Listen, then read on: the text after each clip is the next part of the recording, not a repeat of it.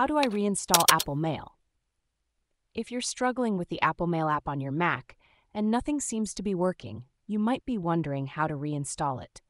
Let's break down the steps to get your Mail app back up and running smoothly. First, it's important to understand that the Mail app is a pre installed application, so you can't simply drag it to the trash. Here's what you need to do instead.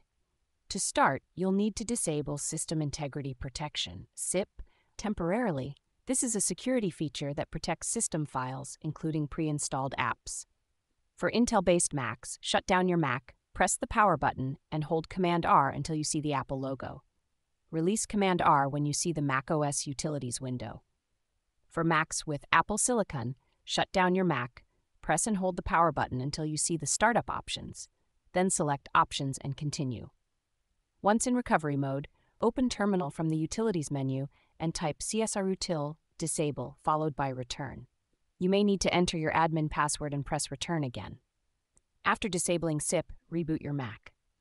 Next, you'll need to delete the Mail app. Open Terminal again and type sudo rm rf slash applications mail.app, then press return and enter your password if prompted.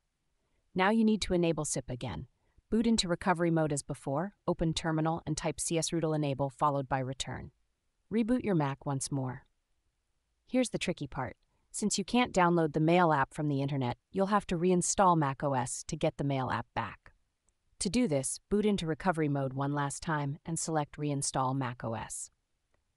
Follow the on screen instructions, but make sure you've backed up your data first, as this process will erase everything.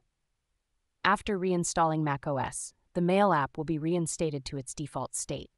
You can then open the Mail app and log back into your email accounts through System Preferences, Internet Accounts. Another method, though less drastic, involves resetting the Mail app without reinstalling macOS.